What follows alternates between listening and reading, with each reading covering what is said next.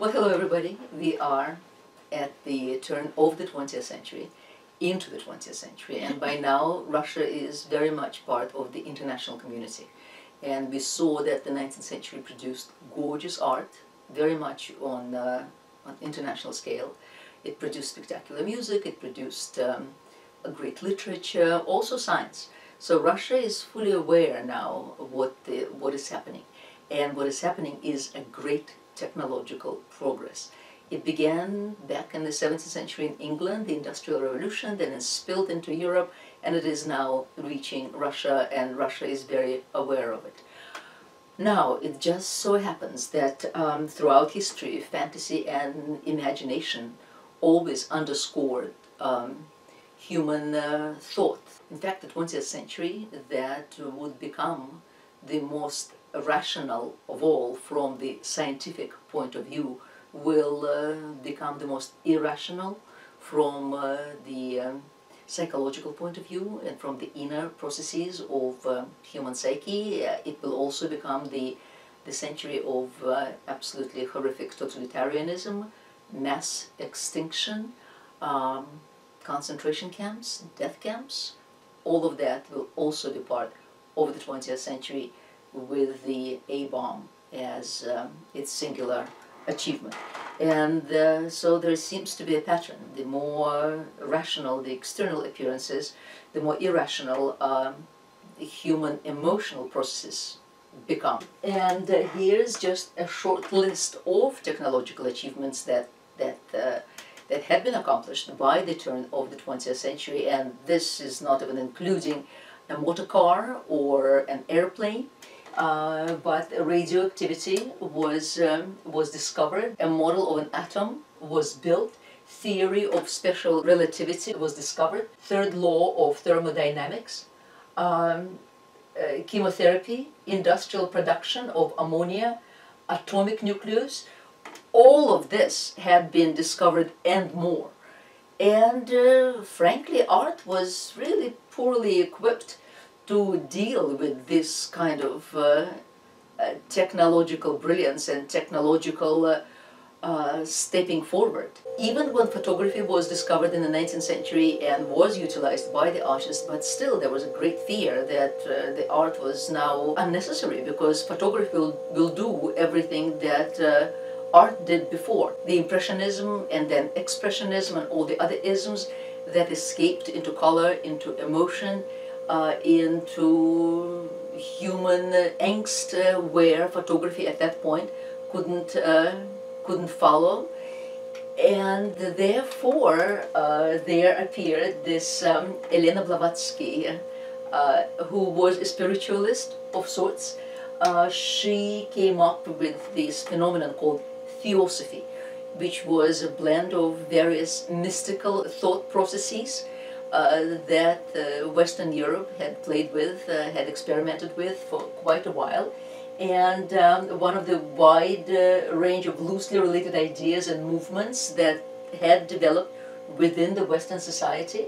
Um, in Europe during the Age of Enlightenment, during the 18th century, these uh, traditions were characterized either as spiritualism magic, the occult, and uh, used uh, interchangeably in her case, she relied very heavily on Hindu mysticism and according to her traveled uh, to India and uh, uh, conversed with the Magi as she would call them. She claimed that the doctrines were not her own invention but had been received from a brotherhood of uh, these secret spiritual Magi whom uh, she referred to as, uh, as masters.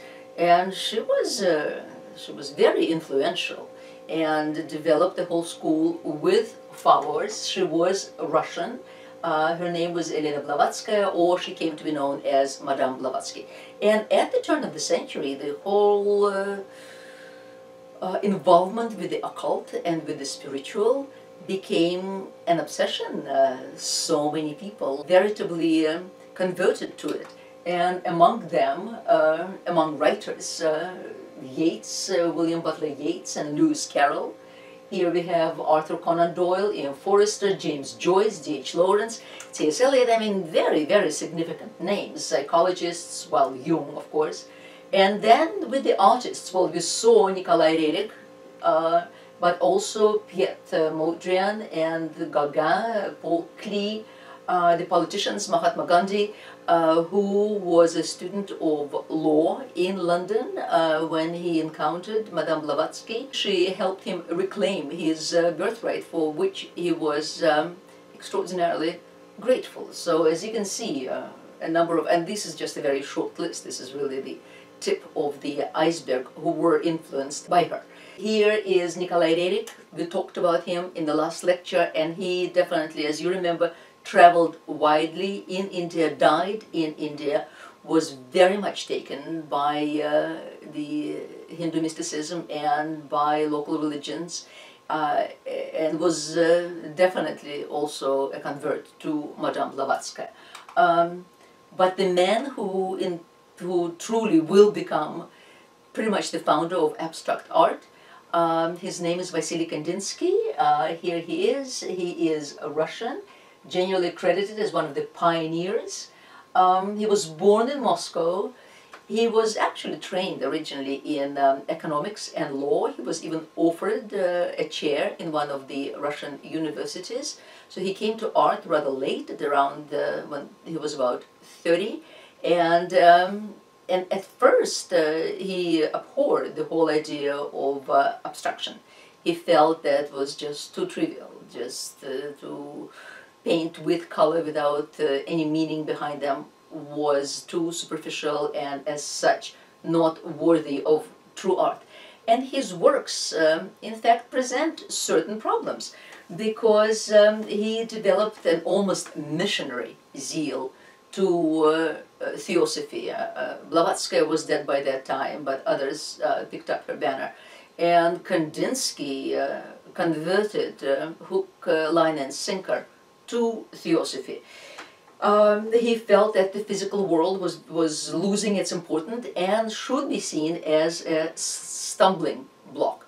Uh, so he felt ultimately that his art was to help humanity to overcome uh, this stumbling block. And Blavatsky herself, one of her tenets was that the future, future belong very much to technology and art will have um, no role to play in it. Um, she, belie she believed in a millenarian uh, principle of sorts because, well, the 20th century was afoot and whether one considers the 20th century as the end of the millennium or the beginning of the next millennium, one felt these um, millenarian inklings very much in one's soul. And one can also think of, um, of Christianity, Christian obsession with revelation and with the millenarian apocalypse. One way or another, this world uh, will end and the next world will begin. And so many, so many of these secular religions or spiritual religions, if you will, um, prophesied uh, the end of this world and uh, the beginning of uh, the next world. Uh, and uh, so Madame Blavatsky very much appealed to the artist and uh, to the writers to guide men through um, through this morass to show them the light. And for a Russian such as Kandinsky, it really wasn't so difficult because Russia had a millenarian tradition of um, abstraction and stylization in its icons. It was very much, it was very used to this sort of thinking. And um, so the image of an icon in itself had an elevated spiritual meaning and uh, so his thinking was steeped in it. Um, born in Moscow, as I said, he um, at some point he went to Germany. He went to Munich School of Art and uh, lived in the south of Germany, painted there, and then uh, being in love with theosophy, he began to write about his art, about the spiritualism of art, uh, about the inner necessity of art, this sort of thing.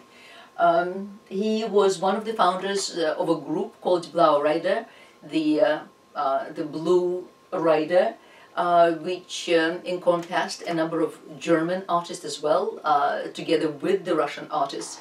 And that's the sort of thing that they believed in, the the necessity of art to show the light. away from materialism because as they saw the technological progress, they saw more and more of uh, materialism around them and human preoccupation with material values and they felt that that was just anathema and anathema that was killing the spiritual richness of a human soul and they must show the way out of it. Uh, in this particular case, uh, well, form is pretty much dissolved. Um, he uses a lot of blue because blue to Kandinsky allegorized spirituality. And the deeper the blue, the darker the blue, the more spiritual it, he meant it to be. With time, as we will see, uh, he, he loved the idea of riders, he loved the idea of Russian folk tales, he loved the idea of, um, uh, of color patches. He was quite nearsighted, so anything that uh, he saw, anything distant, he saw as uh, color uh, patches without contours. These riders will uh, ultimately, in his art, become the riders, the four riders of the apocalypse, the, the harbingers of the uh, of the next um, of the next millennium.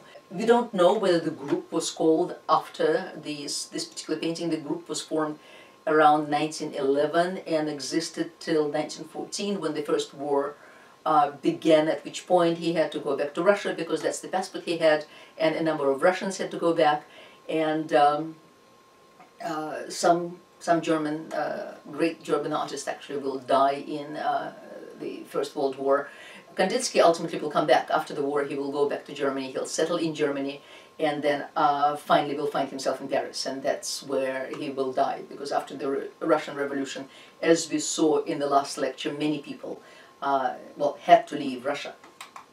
Uh, while he lived in Germany before the First World War, uh, he lived in the area of uh, Munich and uh, the area of Murnau, which is near Munich and sort of on the border, on the Austrian border.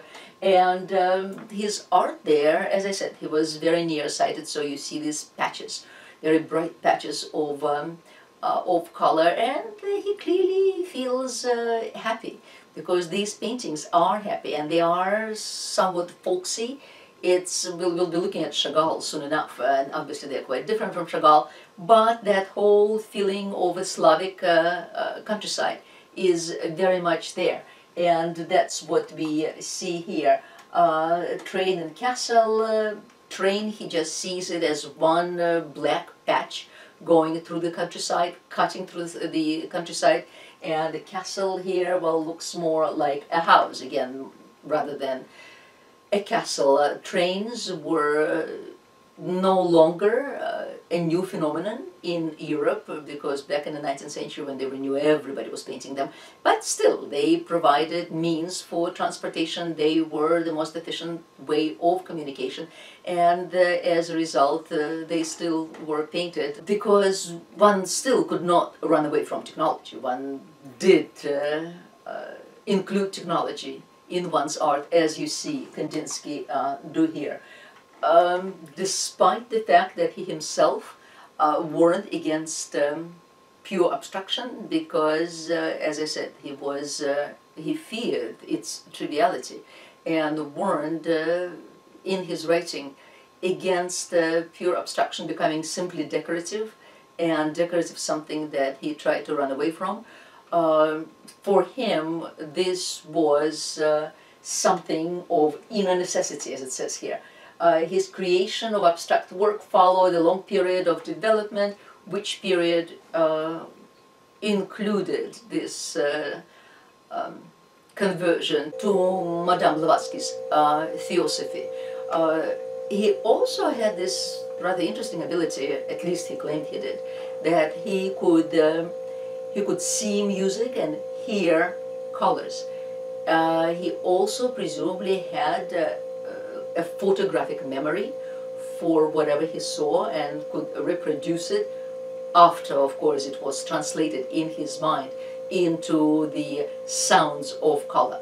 And uh, this transformation from one sensation to another, from hearing to feeling uh, to touching, all of that was very much of Kandinsky's art, and he wanted to convey it uh, to uh, his viewers as means to overcome the uh, material environment. He wished to describe um, the spiritual states, so to speak, the empathy of the soul, the depth of feeling, all of that uh, he felt came with, um, with his pictures. In the end, as you can imagine, um, this became a bit of a muddle because uh, there's absolutely no guarantee that, say, some blue background or some patch of purple represents the same to the observer as it did to Kandinsky. So his attempt at creating this universal uh, grammar of uh, color meant a lot to him, but doesn't necessarily mean much to, uh, to the observer. Uh, here is another uh, painting that's called Small Pleasures, and this really is sort of apocalyptic in a way. What he describes here are, well, there's a boat, you see, there's a boat with the three oars that we see, then presumably uh, there's a couple walking around at the foot of one hill. There's a second hill uh, right there. There seems to be a rider on a horse, perhaps three horses um, galloping together. And uh, it seems that this is the vision of uh, the apocalypse. This is St. John's uh, revelation, where the small pleasures, as uh, he calls them, will end. And the world will change on the cosmic scale and one must be prepared for it. And so as a result, uh, although his paintings can appear quite elliptical, and they are frankly elliptical, uh, because they made a lot of sense to himself, but not necessarily a lot of sense to others. However, they are fascinating, at least from the historical perspective, because uh, uh in order to understand them, one must really uh, uh, submerge oneself in the world of the um, intellectual uh, elite of the time, of uh, how they felt, what they felt. This was the period of uh, uprisings. There was uh, the first Russian Revolution in 1905. Uh, the technological progress was, of course, uh, tremendous, and the artist had to find his, her place in this very, very changing universe. Meanwhile, in France, uh, also in the early uh, 20th century, Matisse had uh, come up with uh, a movement that was called Fauvism, and uh, essentially that movement embraced the uh, brightness of color. It was very happy, the whole idea of that movement was happy. Not only the brightness of color, but also irregularity of color and the inconstancy of color. And the Impressionists had already shown the world that uh, color is not permanent, that a woman in a white dress uh, going through the field, uh, through the field of poppies for instance, the white dress will turn red. Or if she goes through a field of green grass, it will turn green. So there is no constancy to color and Matisse embraced it and introduced uh, Fauvism which embraced all this changeability of color. Also at about the same time, uh, Picasso will come up with his proto-cubism with the Demoiselle d'Avignon, uh, where there'll be inconstancy of everything, inconstancy of color, inconstancy of, of form, of position, uh, all the rules were being broken. Uh, the atom was uh, being broken up, the plane went up and the world appeared made up of little squares from up high and the artist felt that, um, the artists felt that they must embrace uh, these new developments and, uh, and act accordingly. In Italy, at the same time, is happening the so-called futurism, when the futurist movement decided that everything that happened before must be destroyed altogether in, um, in favor of uh, future development and future technological development. In this case, they embraced technology. But before they embrace technology, everything else has to be smashed to pieces. And what we see in futuristic uh, paintings is this splitting of forms, blowing everything up. Uh, so all these changes are happening and uh, a number of Russian painters are very much influenced by these changes. Not the ones from the uh, world of art that we were talking about last time. In fact, they disdained it. They did not accept it at all but the, their contemporaries, other artists, other Russian artists did. So between Cubism and Fauvism and Futurism, those three movements made a great impression on a number of uh, uh, Russian artists, among whom Marc Chagall is certainly not the last. He had an extremely fortunate life. He lived almost until 100. He was born in a small town of Vitebsk to a relatively poor family, but apparently not poor enough so that they couldn't send him to Moscow to, to study. He then found himself in Germany, he found himself in Paris, um, but uh, he is a perfect case where you can take a boy out of a small town, but you can never take a small town out of the boy because throughout his entire long, long, long life, he will always paint uh, the images of, um, of his childhood. Uh, the art critic Robert Hughes uh, referred to Chagall as the quintessential Jewish artist of the 20th century because he lived in a Jewish pale and think Fiddler on the Roof. And that's pretty much what he painted and that's pretty much what was in his mind.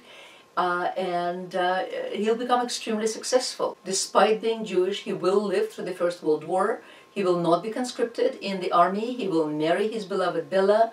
He will then go to Paris, have a very successful career in Paris before the Second World War.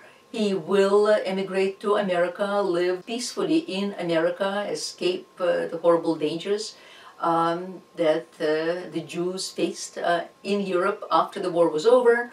He was quickly back in France uh, and lived in the south of France for the rest of his life, for the rest of his very, very long life. So a very fortunate man with a very fortunate uh, life. Some of his early paintings, um, here is one fiddler, here is uh, a green uh, violinist, but basically it's the same idea of a fiddler. Again, fiddler on the roof. Uh, the colors are completely arbitrary, just as Matisse prescribed them to be. The forms are broken, just as Picasso prescribed them to be. Everything is open. Pretty much anybody can do anything they want. And uh, that's how Chagall uh, saw, uh, saw his memories, and that's how Chagall saw his uh, childhood. And he deeply resented anybody's attempt to analyze his paintings and to try to make something out of them, something deep and profound, he felt that there was none of it there. I mean, I didn't know what I was painting. I just was painting something that uh, appealed to me, something that I liked, the, shape I li the shapes I liked, the colors I liked, the memories I had or dreamed up. And uh, that was it. He found his niche. Uh, and he stuck to that niche for the rest of his life. And that niche proved to be extremely successful. Um, here is uh, a very famous village of um, I and the, the village. It's uh, cubist in construction, it's fauvist in its uh, coloring. It does contain all these uh, dreamlike visions. There is uh, uh, a woman upside down, a milkmaid perhaps, a peasant walking to the field. Um, there's a fruit tree here, a face of a man which is green, but then Matisse painted his own wife uh, in all sorts of colors, and a horse, a horse or a cow. The cow is being milked. Frenetic, fa fanciful style, uh, credited to his um, uh, childhood. Uh, Janson called it the Cubist fairy tale. And yes, uh, obviously, when he was growing up, he heard all sorts of fairy tales between the and the Jewish tales and the Russian tales. And uh, when you think of uh, Fiddler on the Roof, if you saw it, it's it's a brilliant musical. These images spring to life. Um, the a great Russian Jewish writer by the name of Babel wrote about that sort of life, and uh, needless to say, Chagall was very familiar with it as well. Um, a delightful uh, piece that I personally love very much is uh, uh, his image of um, himself and, uh, and his wife, Bella. And later on, Bella, in her memoirs uh, that she wrote uh, 30 plus years after their first meeting, wrote that with great difficulty she found out when his birthday was and she brought flowers and uh, she came uh, with, with the Russian shawl and he was so delighted. He hung the shawls everywhere and he immediately began to paint. And he came up with uh, this image. You see, it's called The Birthday, 1915. Uh, he was now in Russia. The First World War began on uh, in 1914, so he had to go back to Russia. This image uh, actually directly feeds into a 15th century image of uh, Van Eyck, uh, the Arnolfini portrait that really became extremely famous, this piece, and everybody who studied art knew about this piece, and it shows uh, very wealthy bourgeois couple. They're actually both Italians, but they he is the representative of, of an Italian bank in, uh, in the north, in the Low Countries. He's marrying also an Italian uh, uh, girl who was born in Paris of Italian parents and uh, there's a bed. She appears to be already pregnant. Uh, there, uh, there is fruit on the windowsill that signify fertility, that signify happiness. The dog, uh, again, the emblem, the allegory of fidelity. They're sort of standing on sacred ground. Therefore, they're unshod, the, uh, the shoes are left uh, on the side. And so, what Chagall does, he reinterprets the Arnolfini wedding in his own terms. There's the bed, and here's the windowsill. Here's another one, and instead of the fruit, we have flowers, and Chagall is so happy, and Bella is so happy they're flying. They will be called the flying uh, lovers of Vitebsk. And here are the two paintings together. Uh, here's the bed and there's the window instead of uh, a looking glass. Here Chagall has another window and as uh, uh there are very rich uh, curtains and uh, fabrics in the Arnolfini wedding, Chagall also populates his painting with richly decorated fabrics as the shawls. This one was painted in the middle of the, the early part of the 15th century and this is the early part of um, the 20th, so 500 years later. He loved living in Paris, and here is his view through the window in Paris. The Eiffel Tower appears in very many uh, paintings over the time. Uh, it was built uh, by 1889 for the World Fair as uh, an allegory of the greatest achievement, the greatest technological achievement. And that's how it was seen by everyone, essentially. It was supposed to be taken down after the fair, but it stayed. And uh, as it stayed, it became a symbol of Paris. And uh, one sees it in a number of paintings and in a number of paintings by Chagall. This is a double-faced allegory, perhaps, of the uh, pagan god Janus, uh, who looks towards the next year, January, and also back to the preceding year, or perhaps it's Chagall who loves his uh, Paris, loves living in Paris at the same time missing his Russia, missing his Vitebsk, very possible. Uh, a human-headed cat, some flowers, uh, he, uh, there is a, parachutist uh, and there was the first jump with the parachute around that time. Often bright lights were placed onto the Eiffel Tower and clearly Chagall loved that as well. I mean his paintings are full of um, light, uh, full of happiness, full of cheeriness and to think that here's the man who lived through two absolutely horrendous wars and it really didn't reflect in his art practically at all. Uh, he just lived this happy-go-lucky life uh, in wealth and fame and surrounded by people who loved him uh, free to experiment all he wished and came up with these, um, well, uh, uh, happy-go-lucky paintings, uh, as we see here. Uh, the two of them, just as they were flying in the, um, in the picture of the birthday, uh, he proceeded to do a whole series of these flying lovers in Vitebsk, and that's what they're called. They're called flying lovers. Uh, he is in Russia at this point. The war is still very much happening. The Russian Revolution is happening at this point, uh, the October Revolution of 1917. But uh, for Chagall, everything is green, pink, lovely, uh, flying, happy. And here he is, and his beloved Bella, uh, and uh, with with a Russian picnic right here that's taking place on a, on a red Russian shawl. Again, we see a lot of red. It's all conceived in the Cubo slash uh, Fauvistic uh, terms. Irregular color, irregular form, irregular shape, um, all of it there, and a lovely result. Here's another one of the uh, flying lovers, both of them are now flying, over their town. There's a Russian church, there is Russian uh, log cabins, uh, the um, wooden fences that surround private properties or private homes, all of it is there. Bella is doing her gardening, which she clearly liked to do, and she is larger than life. She rises above the village, above the fields, above everything. She is the most important thing that God had ever created for him. There's the little village, and perhaps that's Chagall with the little child.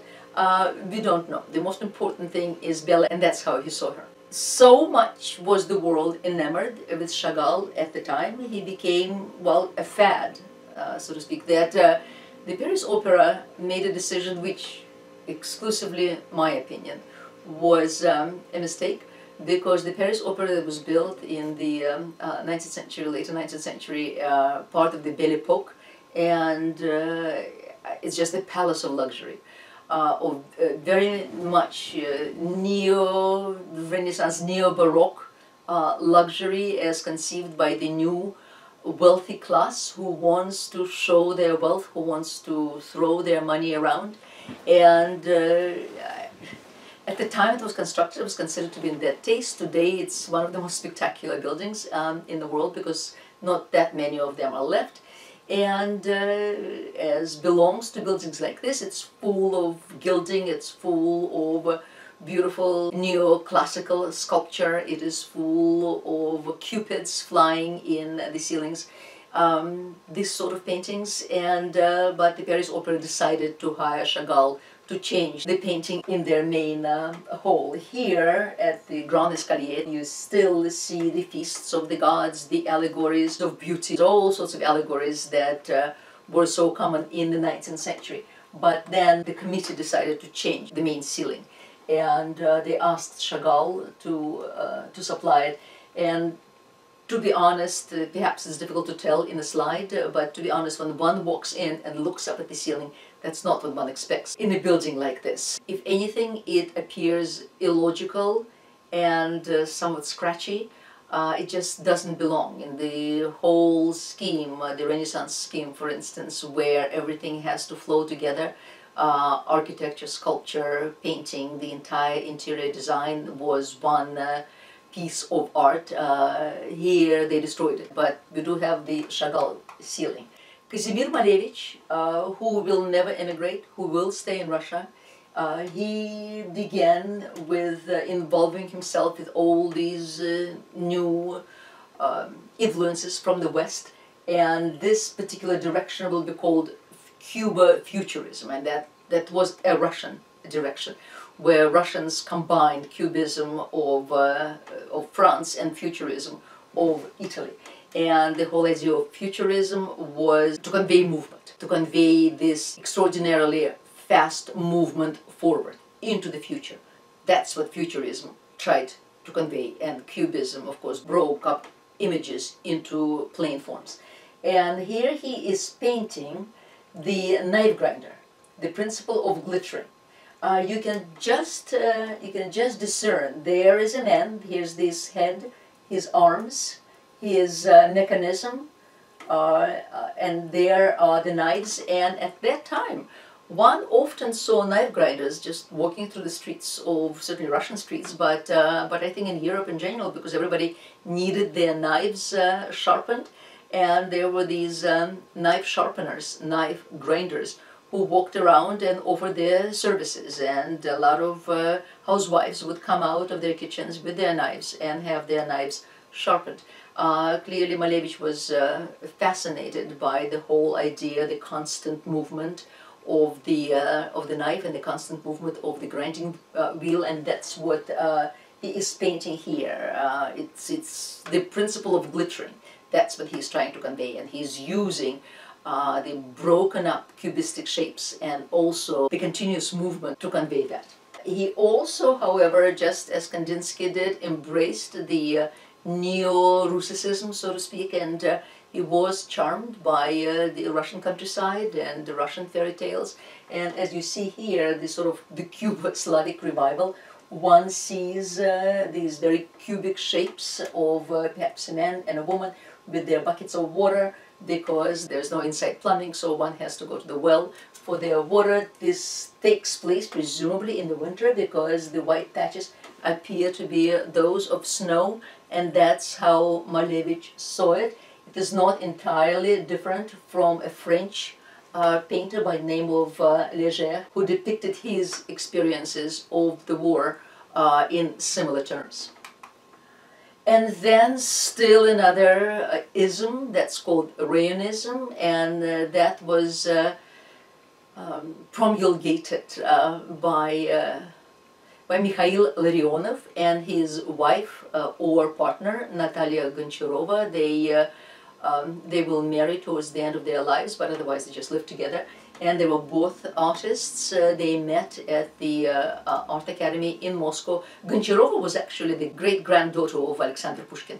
Uh, so, well, they met in the Art Academy and uh, they just became a couple. They immigrated together and lived their entire life, essentially, in, um, in Paris.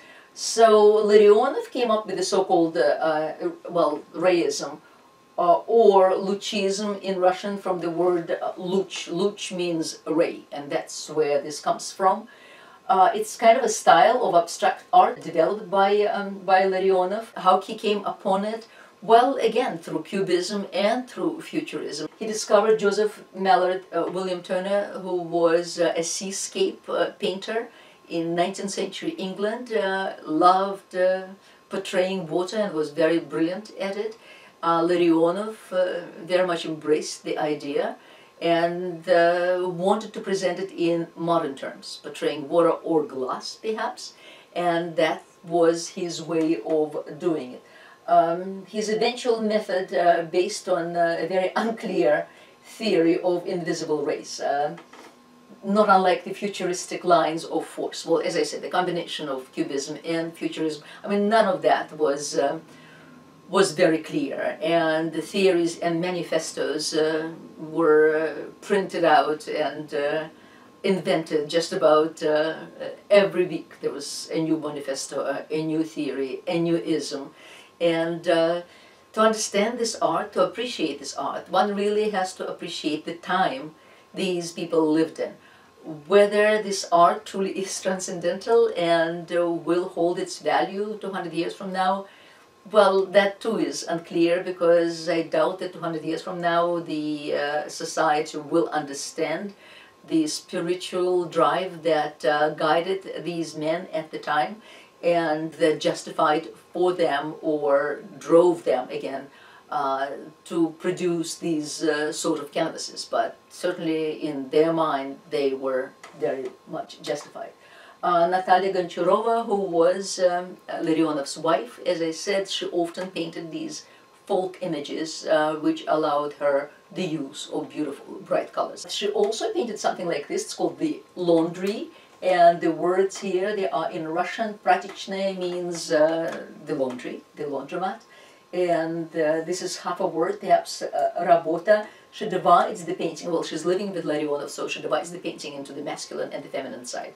And here we see men's shirts with cufflinks and uh, with the pleated front. Uh, on the other side are female blouses. Uh, here's technology again, just as Kandinsky did not escape technology and portrayed the train. Here, Goncharova is showing us the steam iron right here that allow this kind of work to go forth. Uh, very very much uh, cubist work with broken shapes and irregular lettering. That already comes uh, more from, uh, not so much from analytic cubism as from synthetic cubism, but Picasso was developing all these isms uh, pretty much at the same time. Still another uh, Russian Jewish artist by the name of Chaim Soutine was very influenced by Modigliani. He became good friends with Modigliani, and Modigliani is painting his portrait here. Uh, there's a little resemblance to my eye, but this is a photograph of Soutine. He embraced not so much Cubism or Futurism as Expressionism. And in this, he admired Rembrandt and did a number of uh, copies of Rembrandt's Slaughtered Ox. This is Soutine, for which he actually brought into his very poor little den uh, a number of corpses, of ox's corpses that proceeded to rot.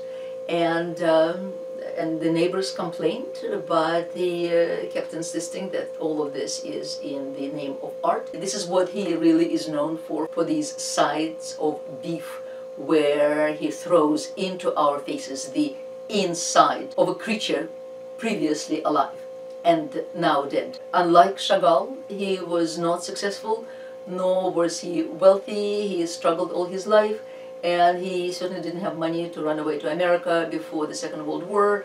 He had to escape Paris and hide in the woods uh, because he was Jewish. Uh, he ultimately he will die, not in a concentration camp. He just died of, um, of all these trials and of poor health. Meanwhile, these are the sort of portraits uh, he did. This is a self-portrait. He looked more at the likes of uh, Georges Rouault, who was uh, uh, a contemporary uh, painter, and this is a head of a tragic clown, also a much more expressionistic work than it is a cubist work. And that's what Soutine is looking at. Here are the Soutine's portraits. Here is the actual face. There he is, he is portrait by Modigliani. Modigliani is really painting uh, Modigliani more than Soutine and himself. And, uh, and here's Soutine by Soutine. This is his uh, self-portrait. And perhaps the self-portrait conveyed himself and, uh, and his tragic soul far more than um, Modigliani did. Uh, he also clearly loved Toulouse-Lautrec because these very quick sketches with thick brush and uh, rapid movement are delightful and uh, are pictures of people in cafes, of uh, having a good time, drinking their coffee, wine, uh, a delightful young girl uh, seemingly flirting with someone. So these quick sketches are very wonderful. He was lucky to find a patron at one point and this patron did uh, uh, take him traveling. He took him south and there Soutine was able to do some landscapes. He also, as you can see, admired Van Gogh and uh, took Van Gogh and Van Gogh's images and exaggerated them in, uh, in his own style, both in a cityscape and in a still life. And in Soutine's interpretation, this still life is not still at all, it's uh, very dynamic. A butcher boy where he conveys the uh, job of the boy, uh, the job in which he assists uh, with a lot of blood. He conveys blood by the background color. And now we go back to Russia uh, because we had looked at the artists who, um, who left Russia and who continued to live in um, France actually for the rest of their lives, but those who stayed in Russia had to adjust. And at first, the whole idea of the October Revolution was fascinating because it's kind of uh, furnished the avant-garde artists, Russian artists, with uh, its social metaphor, so to speak, because uh, there was the future, there was the millenarian fantasy, and there had to be the art of the future. And uh, that art of the future was related directly to the millenarianism of Marxism, Leninism. Everything material had to be uh, done away with. Everything possessible uh, was uh, had to be eliminated. Uh, therefore, there couldn't be uh, any personal art, any, any human art, any art that actually relates to a regular human bourgeois, if you will, level to us. Uh, so art had to go abstract because that's the only art that is completely disengaged from human emotions, it's disengaged from human experience, it's disengaged from human feelings, and that is abstract art. Hence, suprematism. Russian art movement which focused on basic geometric forms uh, um, and conveyed uh, the pure artistic uh, feeling. It was um, a final disengagement of painting from anything that deals with everyday uh, human emotion. It had to go away from it because that was not what the future was about. The future was about the absence of state, the absence of material possessions, the absence of jealousy, the absence of anger, paradise. The future was paradise on earth. Uh, well, needless to say, that future never arrived. Instead of that, what they got, and many artists perished uh, in what will happen. Uh, as I had mentioned before, uh, horrendous concentration camps. The entire Soviet Union, as I had mentioned before, was built on slavery, nothing new in Russian history as uh, we had seen. So thus suprematism. That's what it was called. And it's the same Kazimir Malevich who did the knife grinder uh, now very much embrace this euphoria that lasted between uh, 1917 from the October Revolution to about 1923, six years, about until Stalin uh, took the reins of uh, power into his own hands and uh, smothered it all entirely. And in fact, a number of these artists, the so-called avant-garde artists, were proclaimed as the enemies of the people, just as Hitler later on will proclaim that art degenerate art, and a number of them, whether artists or writers or poets, will end up and will die in concentration camps. Uh, meanwhile, that euphoria will last for about six years, uh, and then it will stop. Uh, here is uh, Kazimir Malevich, who came up with the so-called uh, black square. He painted four versions of the black square because one wasn't enough. It began its life as a stage curtain, as the design for a stage curtain uh, in the futurist opera Victory over the Sun. Here it is, and here is a black rectangle, here's a black square, and then he decided to eliminate everything else and just to keep the black square. And then the epitome of this constructivist escape from the role of depiction was uh, the white on white. And here you have it. And from here, the road was open to similar depictions, and we'll see it revived again in America in the 50s with color field paintings of uh, Barnett Newman, for instance. Uh, Malevich also tried to construct uh, appropriate uh, architecture for the new age. So here, for instance, somewhat naive, but he's imagined a house for a pilot. So obviously a house for a pilot must look like uh, a plane. Needless to say, it was never built. Uh, because, well, the Soviet Union didn't have any resources for building. But uh, one can just imagine what a plumber's house would look like. Well, away from that, um, one of the 20th century most influential movements, uh, it amounted to nothing less than an attack on art, constructivism. It just, just as futurism wanted to destroy everything that came before, now constructivism also wanted to destroy art. In 1922, one Russian artist named uh, Gan penned a manifesto where he wrote, We declare uncompromising war on art. The Russian Revolution had taken place five years earlier. The country was in the process of destroying the past. Now it would revolutionize Russia's cultural life too and put art to work in the service of a new communist um, society. Enter Vladimir Tatlin, who also never left Russia, who stayed in Russia. And uh, Vladimir Tatlin came up with, uh, well, the next stage of suprematism, and that is constructivism, or part of suprematism. And constructivists believed that art had no place in the artist studio, that art had no place in the museum for that matter, that art, uh, that art was around us. Anything we look at is art in a way, um, Picasso's found art was uh, not far removed uh, from that. Uh, art should reflect the modern industrial world, and it has to be formulated in factories and in laboratories. Uh, it has to be an active agent of the communist revolution. And um, together, the artists would seek to find the communist expression of material construction. Hence, here you have his sort of painterly relief where he just conveys uh, found materials uh, essentially that were that are put together as if they are lying in the garbage can in anybody's backyard.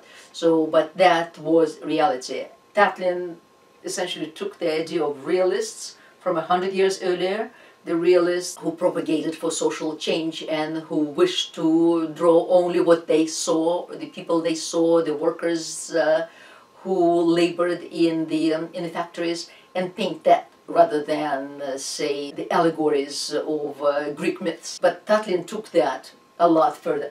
And uh, this is something also that constructivists would do, emphasize building and science rather than artistic expression. And so their goals went far beyond the realm of art as we know it. They wanted, they sought to influence, and they did influence, architecture, design, fashion, all mass-produced objects. They did. They influenced it tremendously. Uh, so in place of painterly concerns with composition, uh, the constructivists were interested well, in construction rather than composition. Uh, engineering became art for them. Not painting, not sculpture, engineering. Here he did these uh, corner reliefs of um, unclear purpose. Today it looks like a, a, TV stuck in the corner, but it's interesting that it's in the corner because Russian icons, remember, were always in the corner. That magical corner in, in every izba, in every Russian home. Uh, here now in the corner sat this construction as the harbinger of uh, future inventions. Uh, granted, uh, it's about, about that time Pablo Picasso came up with this guitar, and uh, so sculpture was no longer a surface, whatever surface it is, whether polished, as in the case with the Renaissance uh, sculptors, or uneven, as uh, in the case of someone like Auguste Rodin, the French sculptor. Now sculpture was made of planes, and uh, the inner world between those planes was just as important as the surface of the planes. So the light penetrating between the planes became uh, the negative space, the negative space versus positive space, I, I talked about it um, earlier, uh, now became overemphasized. And that's what Tatlin is doing here as well. Uh, he is most remembered for the so-called Tatlin's Tower that uh, he designed in 1920. It was never built. It was uh, to be built from modern industrial materials such as iron, glass, steel. Uh, it had a form of sort of the twin helixes like the DNA which went up to 1,313 feet in height which was 300 feet taller than the Eiffel Tower which was about a thousand and then around which the visitors could be uh, guided with the aid of various mechanical devices.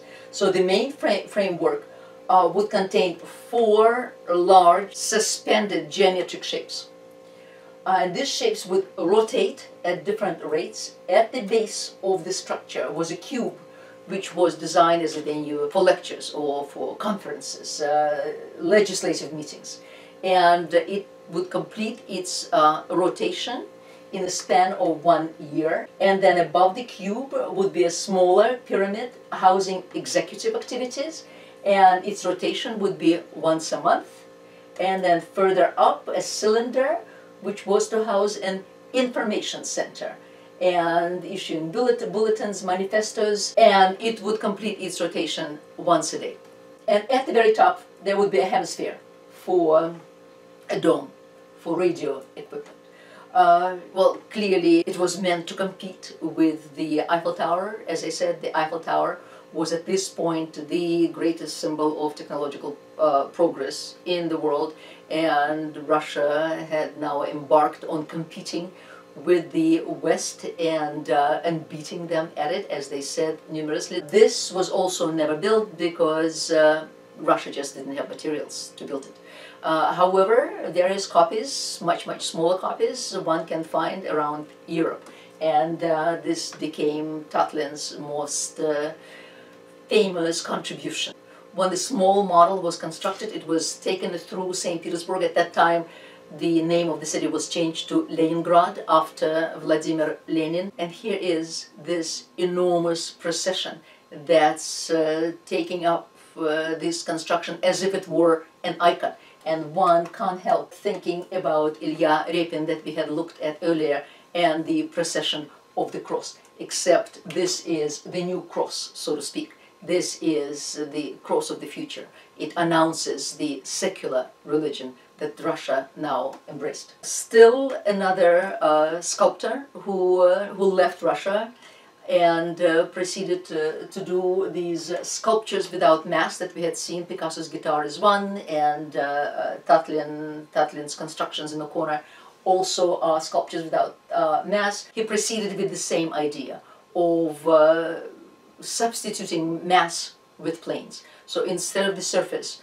he now had uh, the space penetrating the sculpture and defining the sculpture.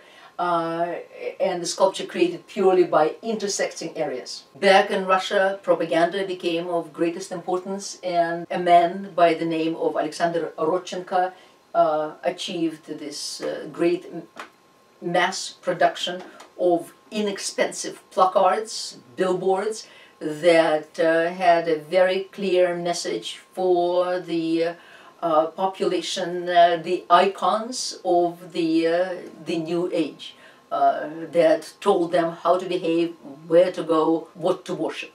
Last but not least, uh, also Russian, a Russian Jew who came to America in his early teens through the Ellis Island. His name is Mark Rothko, who will reach fame after the Second World War in the 50s, who will become part of that abstract expressionism movement of which Pollock uh, was another star.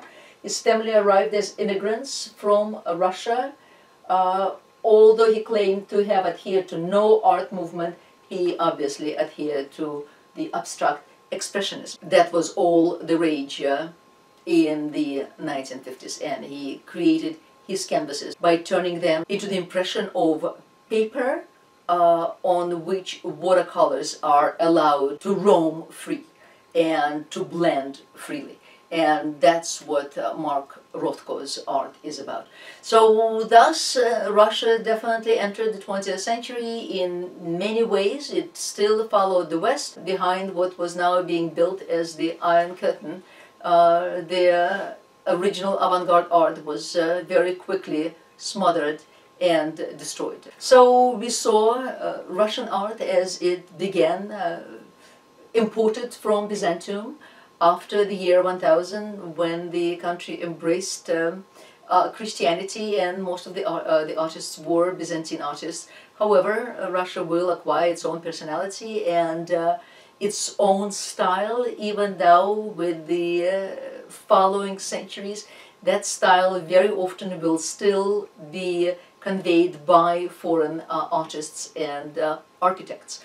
And that will be the case until uh, Peter the Great will open up Russia to the West. Uh, so in the 18th century, already Western influences will come pouring into Russia. And as we saw in the 19th century, the dam was open and uh, Russians proved themselves as creative as any other culture and produced extraordinary works of art, literature, poetry, science, uh, science as well.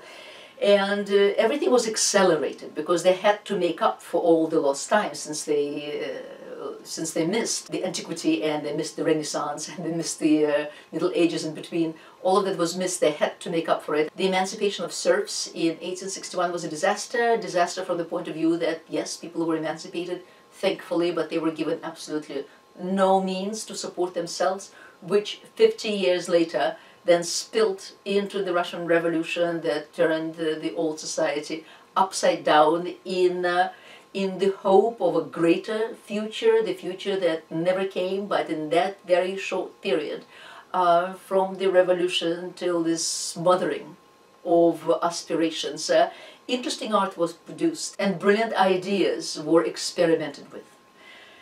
Well, this is the end of our semester and it was wonderful to have you and I thank you very much and have a brilliant summer.